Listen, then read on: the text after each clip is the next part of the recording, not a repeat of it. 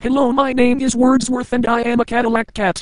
Anyways, there are some things I have wanted to tell all of the people who have watched my show Heathcliff and the Catillac Cats. Now, you may have noticed that in the show, I always spoke in rhyme, and you may be under the impression that I do this all the time.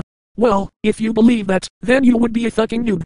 I actually talk normally, and to be perfectly honest, I fucking hate poetry. But, that's not why I came here. I came here to tell you, what I wanted to tell all of you today is that I have a huge, foot fetish. I really really really really really really really love sexy, smooth looking bare feet. I have always had a super swell obsession with sexy feet. Especially, the sexy feet of humans. Now you may think that means I like cat feet as well, but that is actually as false as you can imagine. I am actually quite attracted to my own feline race, both romantically and sexually. I just lust for human feet, and human feet alone. You won't believe how many times I have wanted to add scenes in the show, where I would give Grandma Nutmeg a foot massage, and sniff the bottoms of her sexy, smooth looking bare feet.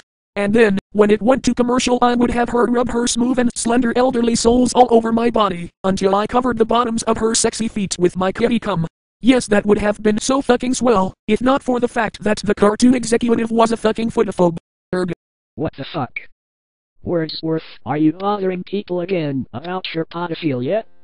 How many fucking times have we told you not to do that? Damn it, Wordsworth, you're going to get us in trouble again with that shit. Just keep it to yourself, damn it. Oh sweet Gilbus, I hate to sound like the pube muppet, but fuck off and let me be. I want to express myself, because I can't hold it in any longer at a longer. I love feet, that's so sweet, get used to it. Alright, that's fucking it. Mungo, Tim Wordsworth down, he is being difficult again. Oh, sweet Gilbus, there is no fucking way I am getting into another fight with Wordsworth. You ever been kicked in the face with a roller skate before?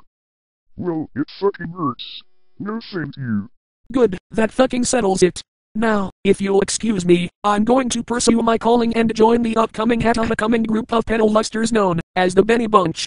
Later bitches.